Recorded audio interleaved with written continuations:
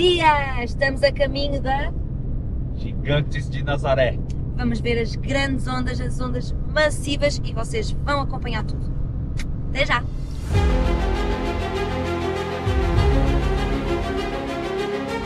Chegamos a Nazaré. Agora. Existem lugares épicos no mundo, mas nenhum é tão especial como este aqui para os amantes das ondas gigantes.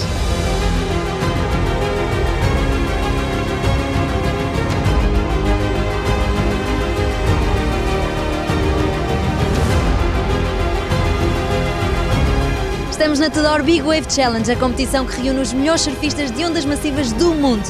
Sejam bem-vindos ao maior espetáculo de coragem que vocês já viram.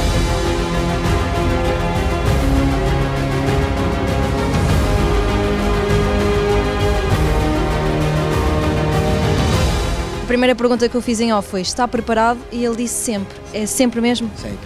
Como é que é surfar uma das maiores ondas do mundo? É algo que não sei explicar muito bem, porque a verdade é que eu acabo a onda e não consigo lembrar daquilo que eu pensei durante a onda. Porque parece que, que o cérebro meio que desliga e entra ali no modo que é o modo de ok, tenho que fazer isto na onda, tenho que transformar a onda desta maneira, ou tenho que sobreviver se tiver aqueles dias gigantes com demasiados saltos. É um instinto de sobrevivência também. Também com instinto de sobrevivência e como a adrenalina é tão grande e o medo de adrenalina é tão grande que o resto meio que parece que desaparece e depois a descarga de adrenalina é tão grande que tentamos lembrar, não conseguimos e acabamos a sessão mesmo quase a adormecer, quase a morrer de sono. Sim, que eu. É a vida fazendo sentido, né? Eu sempre, sempre almejei isso, foi um sonho de criança.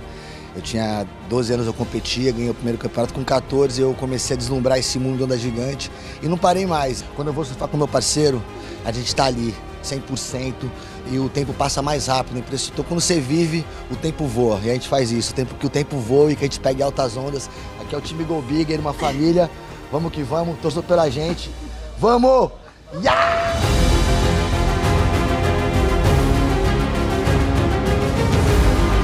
Já falei com o seu parceiro, a energia está lá em cima, não está? Pô, com certeza, muita emoção, primeira vez que eu participar desse evento. E era meu aniversário ainda, não conseguia nem ficar tão Muitos feliz. parabéns, É, muitos então, parabéns. Eu tava assim, nem conseguindo comemorar meu aniversário, meu parceiro pô, batalhou ali, brigou pela gente, pelo esporte. Foi muito bonito e agora a gente vai só desfrutar e dar o melhor da gente ali. E sair com vida e voltar amarradão pra casa, quebrar tudo aí. Esporte é um esporte em time, né? Mas você tem que ter um time para entrar na água, não é só o seu parceiro. Né? Tem a, a spotter que tá falando lá em cima, tem o segundo resgate, então ninguém faz nada sozinho. Aqui a galera é time de verdade. Hoje vai ser um dia histórico e mágico. Vai ser fera. Vai ser fera.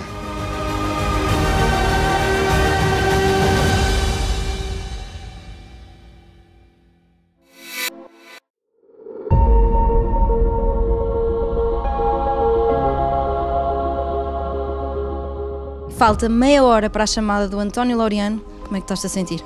É, como é que eu estou a sentir eh, nervoso? Eu estou à espera deste dia há imenso tempo. Como é que tu estás ali numa onda de 30 metros, que seja? O que é que te passa pela cabeça naquele momento? Na hora que vê as ondas é que aí começa a ficar bom. Você com a adrenalina vem, sobe, aí você esquece tudo. É o mar que manda nesta competição e que dita quando é que ela acontece. Como é que é eh, lidar com. Será que é amanhã? Será que é depois da manhã? Será que é hoje? Não vou dizer que é muito chato, mas para mim, que sou uma pessoa com, muito ansiosa, hum, eu acordei às quatro da manhã, não consegui dormir mais, com os nervos. É difícil porque a gente não tem data marcada, a gente não tem um dia certo no ano. A gente tem que saber que qualquer dia pode ser aquele dia que a gente tem que estar pronto. Então, 365 dias do ano que a gente tem que manter o ritmo.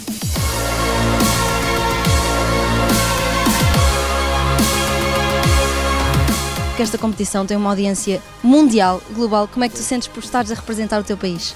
Ah, muito feliz. É a primeira vez que eu e o Chumbo a gente está fazendo dupla. A gente é amigo há muitos anos, já surfou muitos lugares do mundo, ondas gigantes juntos. Mas é a primeira vez fazendo dupla, então vai ser legal, vai ser divertido. Que possa se divertir lá fora e quem sabe ganhar. Consideras-te um bom parceiro no meio das ondas gigantes? Eu acho que eu posso ser o melhor parceiro no meio das ondas gigantes. Com certeza ali um bom piloto e um bom surfista. Depois de dois anos esperando esse evento, me sinto preparado e pronto para dar um show de surf ali, fazer o meu melhor e conseguir entregar boas ondas também para o Scooby. Eles são parceiros no amor e parceiros no surf, não é? verdade.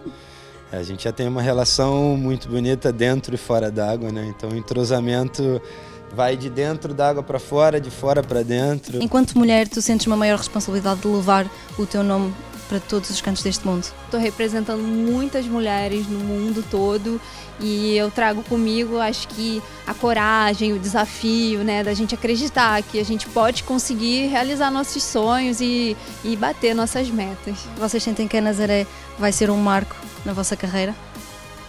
Olha, você falou isso até deu um arrepio, né? A Nazaré já nos proporcionou muitas coisas e só estamos esperando que o campeonato aconteça, né? Na hora que eles falarem pode entrar dentro d'água, a gente vai tentar ali bater a meta. Esse campeonato para mim é um dos meus maiores objetivos no ano, é, não só no ano como na minha carreira. Eu já tenho três vitórias aqui nesse evento. Nazaré é um lugar que a gente trata como se fosse uma segunda casa, assim. Nazaré é tipo uma mãe pra gente, já tem dado muitas coisas boas. Eu falo, Nazaré fez sentido na nossa vida.